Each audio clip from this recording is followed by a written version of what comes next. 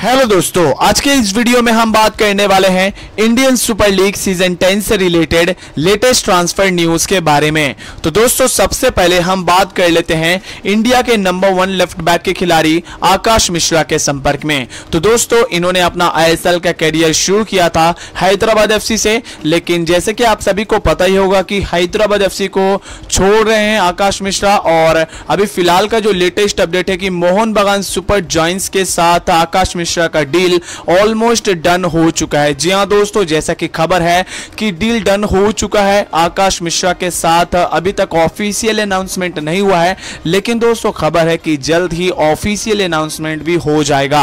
तो यही खबर था आकाश मिश्रा को लेकर, जो कि मैंने आप सभी से शेयर किया। और नेक्स्ट अपडेट है जेसन कमिंग्स के बारे में। तो ऑस्ट्रेलिया के लिए इन्होंने फीफा वर्ल्ड कप 2022 में खेला था। जी हाँ दोस्तों, काफ़ी ज़्यादा एक्सपीरियंस रखते हैं। मेनली सेंट्रल फॉरवर्ड के खिलाड़ी है और खबर है कि मोहन बगान सुपर जॉइंस के साथ जेसन कमिंग्स का डील भी ऑलमोस्ट डन हो चुका है।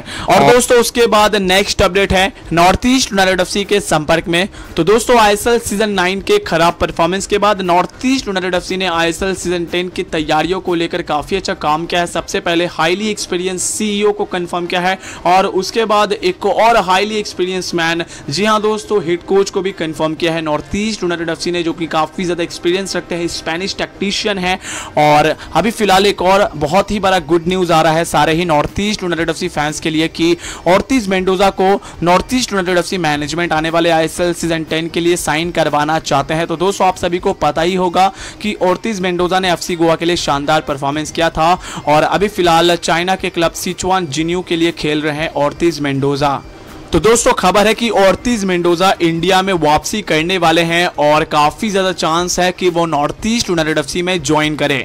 तो चलो दोस्तों, फ़िलहाल ये वीडियो में इतना ही था। आशा करता हूँ कि आपको ये वीडियो अच्छा लगा और अच्छा लगा है तो प्लीज़ लाइक करो शेयर करो सब्सक्राइब नहीं किया है तो चैनल को सब्सक्राइब करके बेल आइकॉन को भी प्रेस कर दो। तो चलो दोस्तों, अब मिलते हैं अपने दूसरे वीडियो में।